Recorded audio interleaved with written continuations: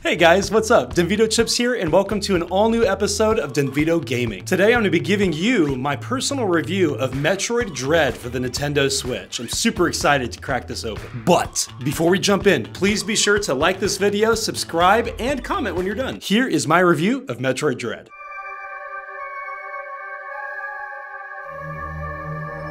Without a doubt, Metroid Dread is probably one of the best games I've ever played. And that's saying a lot, because I play a lot of Nintendo video games. This one tops the charts by all standards. It's incredible. It took me roughly 15 hours of gameplay to get through it, which really isn't all that bad. I like to consider myself a intermediate gamer when it comes to Nintendo games, and this one kept me busy. I mean, it was pretty awesome how much time I was able to spend exploring the world, playing the maps and levels, going against bosses. It felt nostalgic for me. It brought back a lot of that childlike wonder and excitement for me of beating the next boss and discovering the new world and getting to the next level. It was really cool. That said, every video game has its pros and cons. And so what I'm gonna do is I'm gonna break down the pros and cons for you guys and then give you my final rating on Metroid Dread. Here are the pros. Even though I've never played a game in this series before, I've always been an avid Super Smash Bros. brawler, and Samus Aran was always one of my all-time favorite characters. This game does this girl bounty hunter justice. It is such an awesome adventure game. You're constantly finding new items, destroying new types of aliens, discovering new places on this planet that you're on. So if you come from uh, being a fan of the Metroid Prime games, or if you're a fan of this current series of Metroid games, which is like the 2D scroller Metroid games, I think you're gonna love it. Another thing that the game has going for it is that it is absolutely gorgeous, and not just by Nintendo Switch standards. I mean, there were moments moments where I felt like I was looking at a piece of artwork. And a lot of that comes from the fact that because it is a 2D scroller, they're able to put a lot more attention to detail in the backgrounds because you're moving across this one scene, this one level, and the background is just shifting perspective. And so it really gave you a lot of time to appreciate all the crisp visuals, all the gorgeous animation,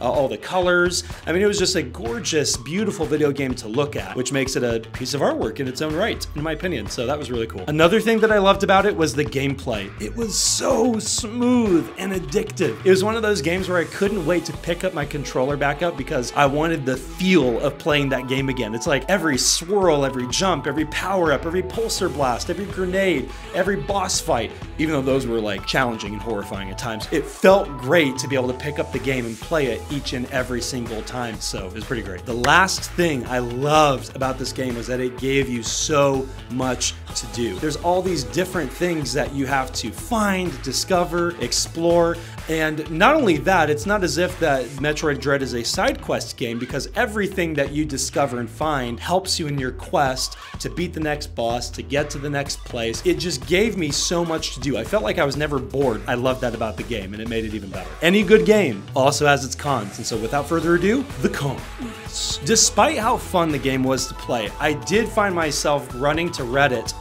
several times, actually constantly throughout the whole game, because there were some moments when you're on a map and you're at a particular place the puzzle solving is so excruciatingly painful, I had no idea where I was going. Now, eventually, as you play, you're gonna learn you have to be heavily reliant upon the map that they give you in the game. If you don't know how to read the map, you're not gonna know where to go. But that said, before I knew that, I was so frustrated because I was just trying to figure out where I needed to go, where I needed to be, where the boss was. So that was the only thing I would say is that if you're a casual gamer, and I consider myself an intermediate gamer, um, it was really confusing at times. It could be a bit challenging. For some of us, that's part of the fun. For other people, it's enough to make them bash the game to pieces and get rid of it. So there's that disclaimer. Now, this one could be a con or a pro for you depending on what kind of gamer you are. And the reason why I say that is because this is a game that's going to have you going back to previous worlds that you've explored constantly. Throughout the game, you're always in this stance of having to go back to a previous world that you already explored and thought you conquered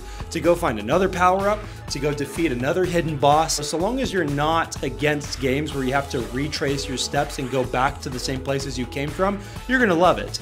But if you're one of those people that prefers a more linear feeling gameplay and you just want to get to the next level, to the next world, and not look back, this isn't the game for you. And you're going to end up really, really frustrated because half of this game is going back to where you were to find something else that you didn't know was there. So there's that. Now, my last con and disclaimer is the fact that it can be more challenging than your typical video game. As I was researching the video game on Amazon and all these different sites and places, anybody that was grumbling or complaining about the game was complaining that it was way too difficult. And I'm gonna be honest, it was one of those games where I got stuck on the second boss for like two hours. It took me forever. If you're not the type of person that likes mining at bosses early on in the game, you're gonna hate it because I will say without a shadow of a doubt, it was this is one of the most difficult games I've ever played. If you're not wanting a game that feels like a Mario skinned version of Dark Souls, you're probably not gonna wanna play this game. But like I said, a lot of this is per your opinion. If you like a good challenge, this is gonna be one of the best games you've ever played. If you you don't like a good challenge, and even more so than that, you don't like being punished for doing something wrong in a game, you're probably gonna have a really miserable time playing Metroid Dread. But all in all, I loved it, which is why, as of this moment, I'm gonna give the game a 9. It was an incredible game. The gameplay was smooth and rapid. The visuals were lush. The storytelling was great. Samus Aran finally has another opportunity to kick some alien butt through this game. I mean, you could not ask for more. It was such a rewarding experience getting to play this game. And I would do it again.